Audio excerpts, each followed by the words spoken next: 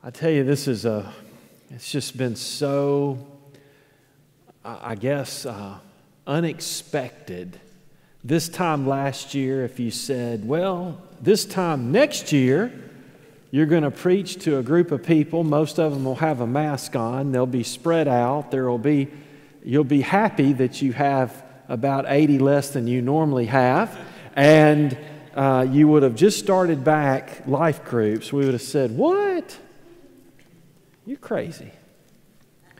A lot of things, let's just be honest, we, we don't know what to do. We don't know how to view things. And uh, it's, it's a crazy world. But I'm going to tell you, we do know some things to do, don't we? We know to pray. We know to not forsake the assembling of ourselves together, as the manner of some is. And we know to stay in the Word of God. Would you open your copy of God's Word today to Daniel chapter 1? And we begin our series, Faith and Fortitude. You know, another way of saying faith and fortitude is simply stand firm. You see, faith is confidence or trust. We're standing on the promises of God. We're standing on the Word of God, the rock of Jesus Christ. We're trusting Him to hold us up. And then fortitude simply means strength. And so, with firmness, with strength, with power, we're immovable upon our God. So, we're going to be thinking of that theme throughout the next 12 chapters.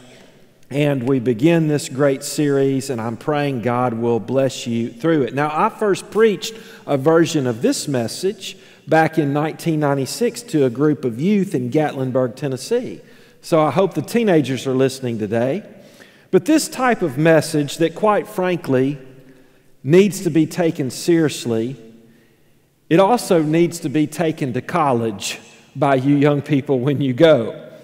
We know, or maybe some don't know, that these young men and women face great enemies of the faith when they get to college.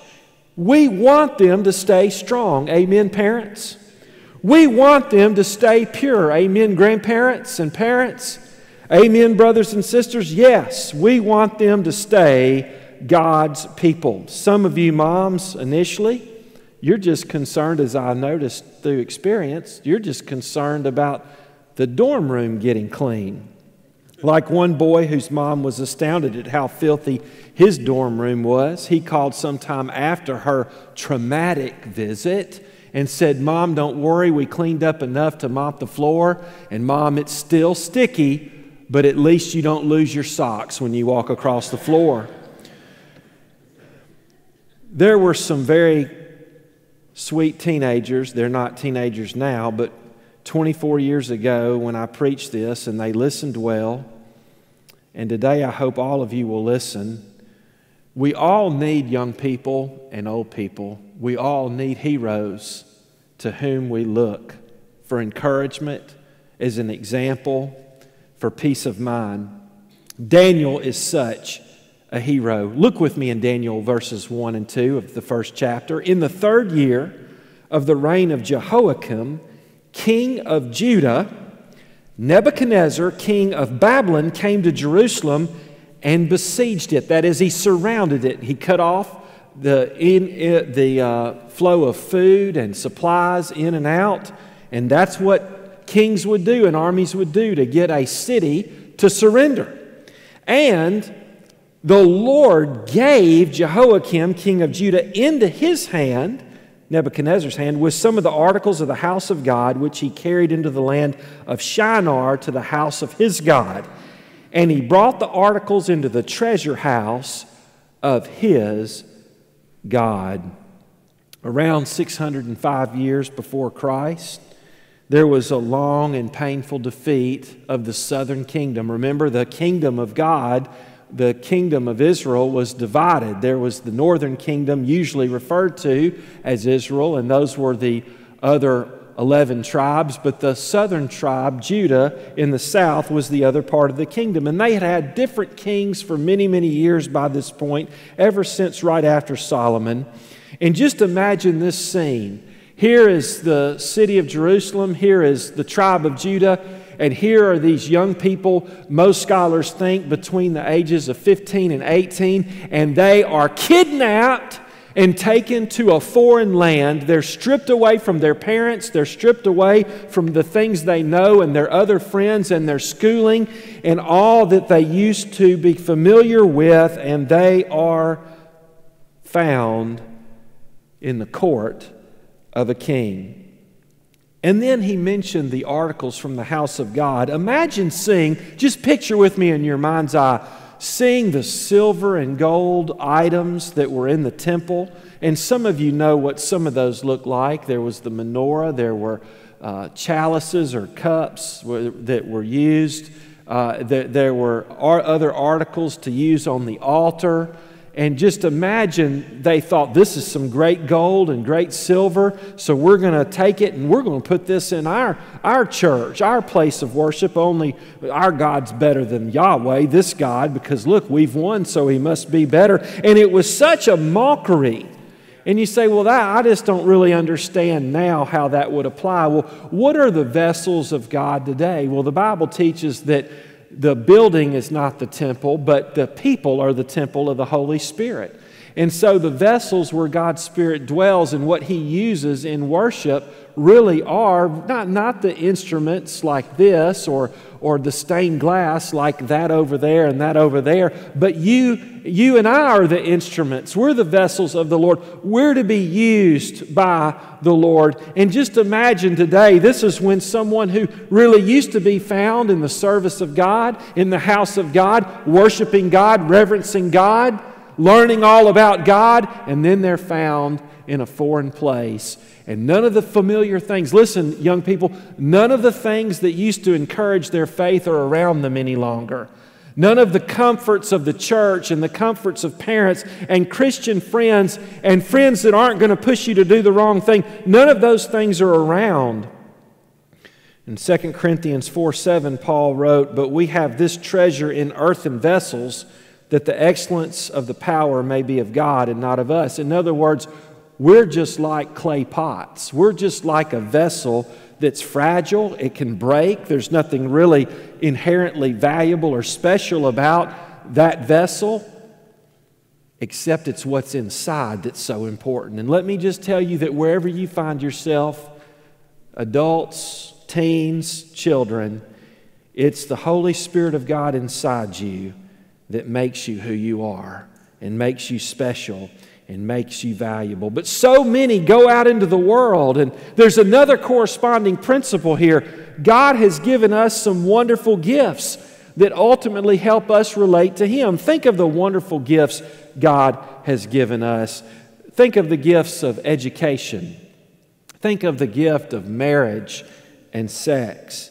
Think of the gifts, the talents that God's given you to worship Him. And think about that just for a moment uh, as I read the next verses. Look at verses 3 and following. Then the king instructed Ashpenaz, the master of his eunuchs. By the way, the word eunuchs there does not mean Daniel and his friends will become eunuchs. It's a general word, it can mean a eunuch but it is, it's not necessarily a eunuch, to bring some of the children of Israel and some of the king's descendants and some of the nobles, young men in whom there was no blemish, but good looking, gifted in all wisdom, possessing knowledge and quick to understand, who had ability to serve in the king's palace, and whom they might teach the language and literature of the Chaldeans. So there's education right there. But they say, bring, look, don't just bring anybody. But we know we took captive some of the young people that were children, that are children of the nobles, of the kings, of the important people. I mean, these are the smartest, best looking, best educated, most gifted kids. Bring them here because we want to make them into people like us. We want to teach them our culture, our language, our values. We want to trade what we know for what they know. We don't want them to think the way they used to think we want them to think in a different way. Verse 5 And the king appointed for them a daily provision of the king's delicacies and of the wine which he drank, and three years of training for them. So this wasn't a little camp. This was three years. By the way, it's interesting. A normal Master's of Divinity degree for a pastor, which is the bread and butter degree that most pastors get, uh, that's a three year degree. Kind of interesting there. Jesus had the disciples how long before he was crucified and raised and ascended? Say it. Three years. Very significant. Three years of brainwash, I mean, training for them. But it is going to be kind of brainwashing if they're not careful. So that at the end of that time, they might serve before the king. Now, from among those of the sons of Judah were Daniel, Hananiah, Mishael, and Azariah. You might know his friends as Shadrach, Meshach, and Abednego. These are the same guys. These are their Hebrew names. To them, verse 7, the chief of the eunuchs gave names. He gave Daniel the name Belshazzar, to Hananiah, Shadrach, to Mishael, Meshach, and Azariah, Abednego. But Daniel purposed in his heart that he would not defile himself with the portion of the king's delicacies, nor with the wine which he drank. Therefore, he requested of the chief of the eunuchs that he might not defile himself. Now, God had brought Daniel into the favor and goodwill of the chief of the eunuchs. And the chief of the eunuchs said to Daniel, I fear my lord the king, who has appointed your food and drink. That is, look, I'm afraid to go tell the king that you people, y'all are our prisoners. Do you remember that, son? That you don't want to eat his food and drink his wine. You want me to go tell him that? For why should he see your faces looking worse than the young men who are your age? In other words, he wants to fatten you up and this is going to be a problem. Then you would endanger my head before the king. So Daniel said to the steward, whom the chief of the eunuchs had set over Daniel, Hananiah, Mishael, and Azariah, Please test your servants for ten days, and let them give us vegetables to eat and water to drink. Then let our appearance be examined before you, and the appearance of the young men who eat the portion of the king's delicacies. And as you see fit, so deal with your servants. So he consented with them in this matter and tested them 10 days. Now let's stop right there. Daniel says, Look, we can test it for a temporary time, 10 days, and you'll see the proof is in the pudding, We'll be fine. And so there's already an attempt to uh, make this is not just a diet change, this is to get them to break Levitical diet laws. That's true. You say, well, it's no big deal to eat certain meats, but remember, God's law for his people was to set them apart from others. It wasn't simply for health reasons. And also, this wine probably would have been very alcoholic wine that Daniel and his friends did not drink. And so Daniel says, This is not what we want to do. And today, our young people are told on every front get a good education, study hard, go to school, go to college. And the Bible does say in Proverbs 1 7, the fear of the Lord is the beginning of knowledge. And so the beginning of our education ought to be hey, there's someone we fear more than our captors, more than a king, and it is the Lord. Did you know really that was the approach of the university system many, many, many years ago? Did you know that was the approach? The charter of Yale states that liberty to erect a collegiate school is given to the trustees that, quote, youth may be instructed in the arts and sciences, who through the blessing of Almighty God may be fitted. That means they may be trained and, and, and ready for public employment, both in church and civil state.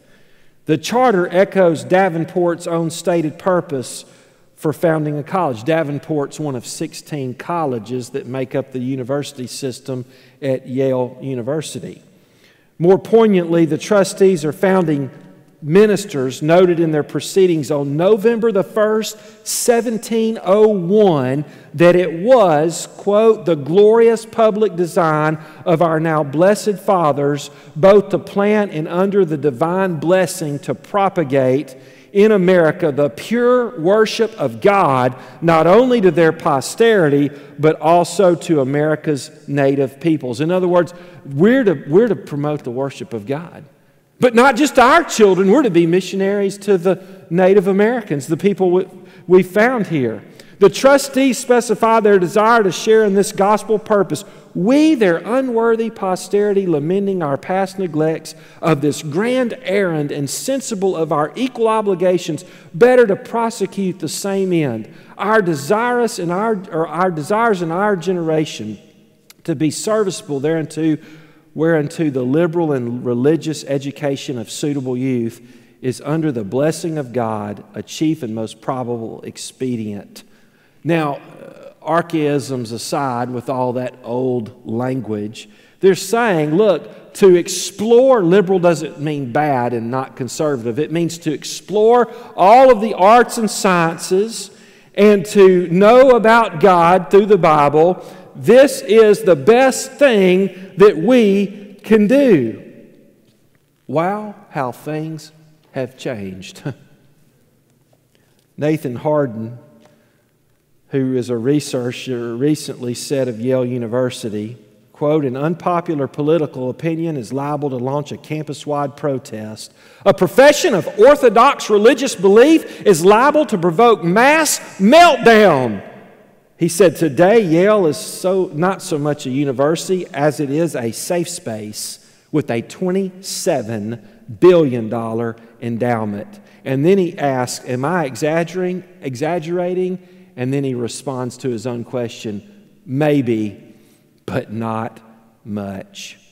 This, here in the book of Daniel, is an attempt to reprogram these young people, to erase their faith and their beliefs in their God. This is not simply changing their diet. You know, the devil wants the best of the best, doesn't he? He wants the gifted people, he wants the church kids. And here they're even changing their name. I mean, Daniel's name means God is judge. And they changed his name to Belshazzar. Bel, which was their false god, protect his life. This would have been the god of Nebuchadnezzar's father, Nabopolassar. And then Nebuchadnezzar's God was Marduk. They changed Hananiah to Jehovah, which is Jehovah is gracious, Yahweh is gracious, to Shadrach, the command of the moon god, and Mishael, which is a name that means who is like God, to Meshach, who is like Aku, another of their false gods. Azariah, Jehovah is my helper, to Abednego, the servant of Nego. This is right here happening where modern day Iraq is. This is here in the Fertile Crescent. This is here in Mesopotamia. This is just north of Ur, where God called Abraham and said, Come follow me to a place that I will show you. This is often called, as we saw in verse 2, the land of Shinar. It was a land of perversion. Listen to me, ladies and gentlemen. This was where the Tower of Babel was attempted, was built, and God had to disrupt the pagan worship of the day. This was, head, listen, this was headquarters for paganism and for the devil. But what did Hananiah, Azariah, Mishael, Daniel, what did they do? We'll look back at verse 8, and I want to just show you just four, four things they did, and I'll be quick. Verse 8 But Daniel purposed in his heart that he would not defile himself with the portion of the king's delicacies, nor with the wine which he drank. Daniel purposed purity in his heart. That's what he did. We all face temptation. We all face the decision of whether to compromise our faith or not. Daniel faced temptation. He faced the temptation of pollution. Look, this is not, this is against what God has said for me. It was a, a temptation to put in his system things God had said to stay away from. How does that apply to us today? Do we say, well, be careful what you eat and drink? Well, maybe, but I just want to show you something a little different. Think about the reasons he could have compromised. The king commanded it. Well, we need to do what the king said. Fear of punishment. We're going to be punished if we don't do what he says. No advancement. Look, we know God will want us to be happy in this foreign land. We've been through enough. And this is God's way of helping us to have a good life, even here in Babylon. They could have compromised in that way. They wouldn't want to be social outcasts. Well, we'll be the only ones on this other diet plan, Daniel. Who else would know or care for that matter? Look, what's in Babylon stays in Babylon. It's not like we're in Jerusalem anymore. This is what they do over here. Who's going to know we're in the king's court now? Or how about this one? Do you ever allow this to lull you into temptation? This is God's fault anyway. He allowed us to get captured. He allowed us to be put in this situation. No, this is a temptation of pollution from the devil. But Daniel purposed in his heart, that is, he made a decision immediately. I'm not going to do this. I'm going to remain pure. What is purity anyway? Purity, that great preacher, Robert Murray M'Cheyne, wrote to a young man named Dan Edwards upon his ordination in great measure according to the purity and perfections of the instrument, meaning the vessel, meaning the person, will be the success. It is not great talents God blesses so much as great likenesses to Jesus. A holy minister is an awful, and not awful as in bad, but awful as in awe inspiring weapon a minister who is holy is an awe inspiring weapon in the hands of God. Two theological students were walking along a street in Whitechapel district of London, England, and there was an old clothing store. And one turned to the other and said, What a fitting illustration all this makes, said one of the students. And he pointed to a window in which there was a, clo- a set of clothing hanging on a rack that had a sign and it said, slightly soiled, greatly reduced in price. In other words, a little bit of sin, a little bit of dirt. You don't think it's a big deal, but it will greatly jeopardize our value of usefulness to the Lord. There was the temptation of pollution, there was the temptation of procrastination. Daniel's there. They give them the new names.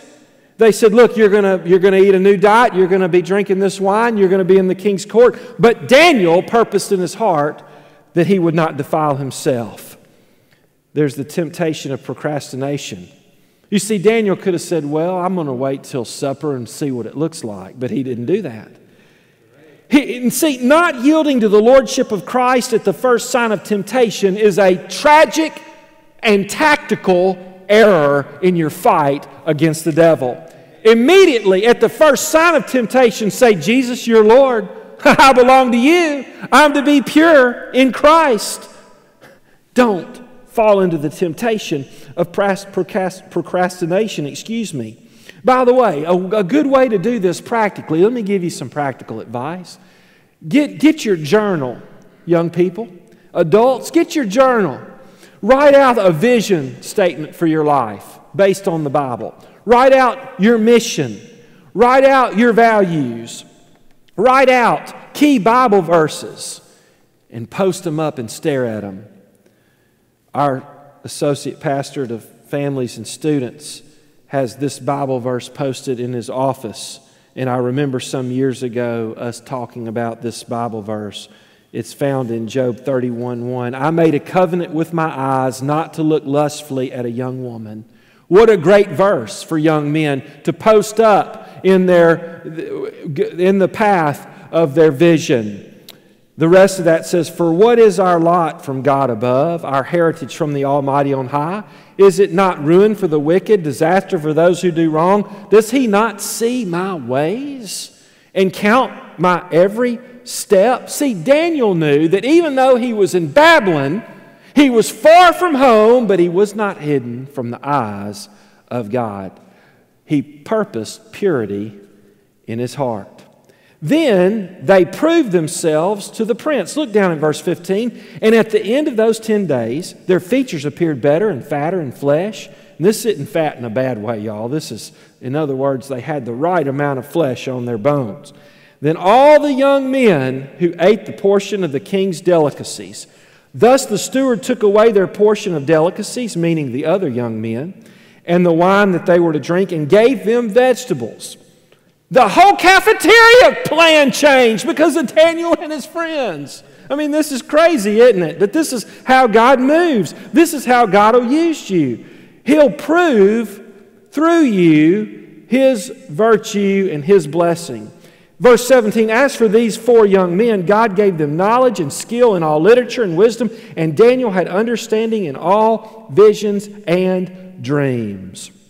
Listen, you purpose purity in your heart, and God, you listen, people may laugh at you, they may mock at you. You may seem like a, you may be kind of termed a country bumpkin or, or someone who's a, a fundamentalist or someone who's uh, just hokey or out of touch or old school. But listen to me, God's going to be on your life. And God's presence in your life will enable you to prove to others, not to everyone, but you'll be pro- you will prove to others that your God is real. God moved in Daniel and his friends' lives. It reminds me of 1 Corinthians 10:13 that says, "No temptation has overtaken you that is not common to man. God is faithful, and he will not let you be tempted beyond your ability, but with the temptation he will also provide the way of escape that you may be able to endure it." Isn't that what happened right here? You know, we might entitle this Wise with No Compromise. D- Daniel said, we're not, we can't do this, but here's what we can do, and here's what we're willing to do, and we're willing to be tested, and we're not trying to buck your authority. They prove themselves to the prince. But here's something that's even more important than that. Not only did they purpose purity in their heart and prove themselves to the prince, look back at verse 9.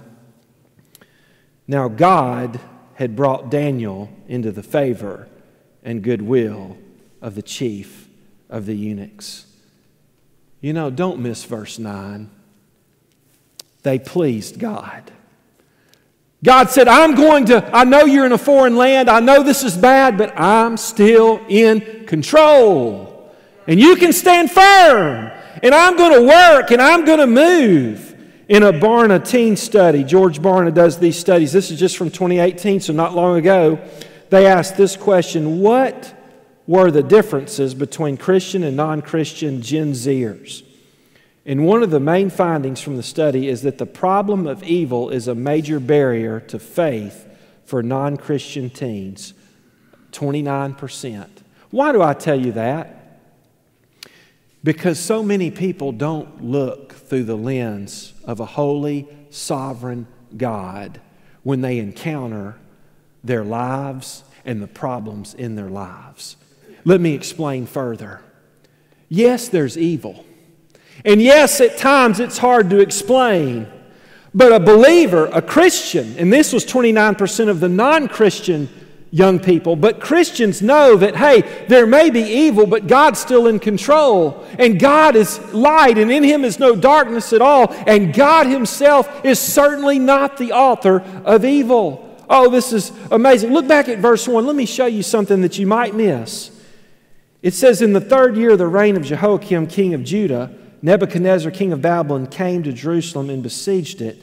And the Lord gave Jehoiakim, king of Judah, into his hand. You know why that's interesting? You'll notice there that Lord is not in all caps.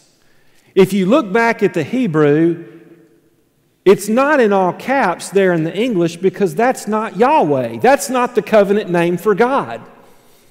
You'll find the covenant name for God here in this book, but here, Daniel, of course, is writing also for non Jewish people, but this is Adonai. Have you ever heard that? Adonai. It's the Greek equivalent of Lord or Kyrios. And it, it, it, he's saying to a mixed audience, there is a Lord who's in control of all. Your translation may say he delivered the kingdom. The Hebrew word there, that's what it means. It, it, it quite literally means he gave it. Who was Jehoiakim? Jehoiakim was the second son of Josiah. Before Jehoiakim, there was another king, the first son of Josiah, and he did evil. Josiah did good, but his son did evil. Pharaoh took control of this second son, Jehoiakim. He was just a patsy. That means he was just a pawn. And, and, and then all of a sudden, he is taken out of the way. And these kids are taken captive, and this city falls, and it's the Babylonian exile. And yet, this young man, Daniel, and his friends say, We still must please God. Amen? We must please God. He's in control. God, the Lord of all, allowed Nebuchadnezzar all of his power. Did you know scholars say that Nebuchadnezzar, listen, Nebuchadnezzar, boys and girls, was probably the greatest and most powerful king of all ancient times. But no match for the Lord of Lords and King of Kings. Let me show you one more thing they prophesied the word of God. Look at verses 18 through 21. Now, at the end of the days, when the king had said that they should be brought in, the chief of the eunuchs brought them in before Nebuchadnezzar. Here it is, drum roll, moment of truth, right? Then the king interviewed them.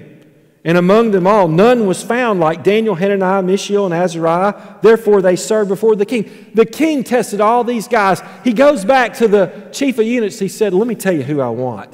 These four that these are better than all the others. There's no one like them. These are the ones I want at my right hand and at my left. Verse 20, and in all matters of wisdom and understanding about which the king examined them, he found them ten times better than all, not just the young men, all the magicians and astrologers who were in all his realm, all the scholars and advisors and those who were involved in the black arts. Thus Daniel continued until the first year of the king of Cyrus. Here's the thing when you are pure and God proves through you that He's in control, and when you are absolutely pleasing to the Lord, you'll be able to speak for the Lord. And that's what Daniel did. He prophesied the word of God. The king was convinced and you know why the king was convinced? Because Daniel was convinced that he was going to serve God. You know, sometimes you know what you're going to be told? You need to be open minded. I was literally told this at a Christian college. You need to be more open minded th- than what you've been taught in Sunday school. By the way, if a professor says that, alarm bells ought to go off in your mind. Another professor said this I know the Bible says this, but all the other books I've read, when someone starts a, a conversation with that, watch out. C.S. Lewis said this an open mind in questions that are not ultimate is useful. In other words, if you're saying, well, you know, you, you might want to, um, you, you, might want to uh, fix the car this way instead of you know instead of pulling up on ramps you might want to put the car up on a lift or you might in questions that don't matter. But an open mind about ultimate foundations that is good and evil heaven and hell the revelation of god these are the why are we here on earth? Ultimate questions the questions that you must answer before you grow up an open mind about these foundations, either of theoretical or practical reason, is idiocy. That means, quite frankly, it's absolutely stupid. If a man's mind is open on these things, let his mouth at least be shut. C.S. Lewis. I had an old dorm director that said, Yeah, you, they tell you to have an open mind, but be careful. If you have too much of an open mind, you might have to close it for repairs. And you've heard this don't be so open minded that your brain falls out. Listen, you be enamored, in love with, you be versed in, studied in the Word of the living God, and stand firm. Stand firm on the faith with great fortitude. Daniel went on to be delivered from the lions' mouths, and the others went on to be delivered from the fiery furnace. Why did Daniel make it? Why do we see him being promoted in the pagan kingdom and prophesying about even the very end of the age, things that have even been past and that have yet to pass? Why? Because he purposed purity in his heart, because he proved himself to the world, because he pleased God, because he prophesied the word of God. Where are you? Where are you? You say, Well, how do I do this? Well, you know, ultimately, God came to Daniel in chapter 10 and said, I want to show you some things. And also, Daniel's, Daniel had a special angel assigned to him. We're going to study that. But Daniel describes a vision of the Son of Man, and it's very similar to what John describes in Revelation chapter 1. And let me say to you, Jesus is probably not going to appear to you physically until you die or he comes back. But as you look through the lens of the Word of God, would you pray something like we've sung this morning? Be thou my vision, O Lord of my heart. Not be all else to me save that thou art. Thou my best thought by day or by night. Waking or sleeping, thy presence my light. Be thou my wisdom, and thou my true word. I ever with thee, and thou with me, Lord. Thou my great Father, I thy true Son. Thou in me dwelling, and I with thee one. Be thou my battle, shield, sword for the fight. Be thou my dignity, thou my delight. Thou my soul shelter, thou my high tower. Raise thou me heavenward, O power of my power. Riches I heed not, nor man's empty praise. Thou mine inheritance, now and always. Thou and thou only, first in my heart. High King of heaven, my treasure thou art. High King of heaven, my victory won. May I reach heaven's joy, O bright heaven's sun. Heart of my own heart, whatever befall, that is, whatever happens to me, you are the very center of my being, heart of my heart. Still be my vision. Still be what I fix my eyes on and my life on. O ruler of all. May I ask you a question? Everyone who's in this room, everyone who's watching via live stream, everyone who will listen to this later, is He your ruler? Is Jesus Christ Lord of your life. Our instrumentalists are going to come and play. We're going to have what's called an invitation or a time to respond. And I, what I want to ask you to do is first respond in your heart. Is Jesus your Lord? You say, well, how do you make him your Lord? You realize that you're absolutely separated from God. You're absolutely unfit to be in His presence. You say, but God's love, yes. But you're still unfit to be in His presence. And He will not allow you into His presence. But God demonstrated that love toward us in that while we were still sinners, while we were separated, while we were unlovely, while we were unfit for His presence, Christ died for us. And so God put upon Jesus all of your sin, all of my sin, and He punished Jesus. And so now He doesn't have to punish you if you will receive Him as Lord of your heart, Lord of your life.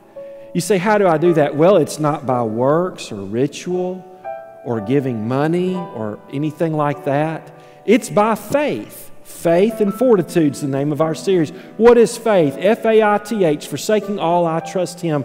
Lord Jesus, I can't do anything to save myself, but I trust that you died on the cross for me, and I give you my life in gratitude. Would you come in and be my king? I'm sorry for my sin. I don't want to be in charge anymore. I want you to be my king. That's how you're saved. That's how you make him ruler of your life. That's how He becomes the vision and purpose of your life. Just bow your heads right now, all over the room. Just everyone bow and pray that in your heart God, I want you to rule my life. God, I'm a sinner and I'm so sorry, but you died to cover over my sin, to remove my sin. God's punishment went to you in my place. So I receive that gift, Lord. Just pray that, Lord, I receive that gift. Would you come into my life? and change me. Just pray that. Come into my life and change me. Save me, Lord. Just ask Him, Save me, Lord. And now thank Him, Lord Jesus, thank you for saving me. Now look up here. Here's what I want to ask you to do. That was in your heart. You may have even prayed that silently in your mind. That's okay. But in the New Testament, people that followed Jesus followed Him publicly. There's never any private Christian. They identify with Him. How do they do that? Do they get a sign and go out on the street and say, I am a Christian? You might could do that, but that's not what we see in the Bible. Do they, do they write it on their Facebook page? Well, I don't think we see that in the Bible, but you could do that. What do they do? They identify with the bride of Christ, the body of Christ, the building of God, God's garden, God's field. Those are all metaphors for the local visible church.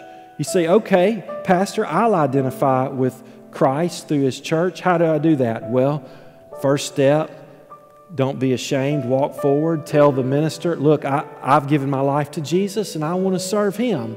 You don't have to stay a member of this church, but you can start here and you can identify with Jesus here through believers' baptism and we'll help you with all that. We've got great literature. We've got stuff written by people far smarter than I.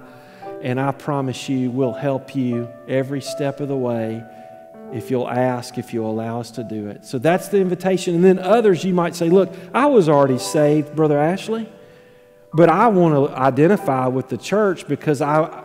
Not that I haven't done that in the past, but I need to recommit my life. Or, look, I want to specifically be part of this church and I want to move my membership here. Or I need to be belong to this church and I, I've never been baptized scripturally, so I'm going to do that. I want you to come. And then those of you who are ready, you've been through the class and all, and you just need to be presented, I want you to come as well. Let's stand as I pray. Lord, may we allow you to do what you can do. Lord, I preached kind of a long sermon, and there's a lot there.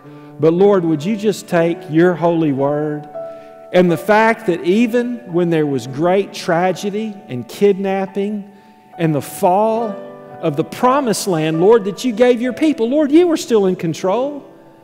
Lord, you were at work, and Lord, you always are. So today, this morning, even amidst coronavirus and social upheaval and wicked times, Lord, and uncertainty, and even our own fears, Lord, would you just allow people to respond to you? Lord, may we identify with you. May we purpose to make you the Lord of our hearts. And may people even respond publicly today. In Jesus' name we pray.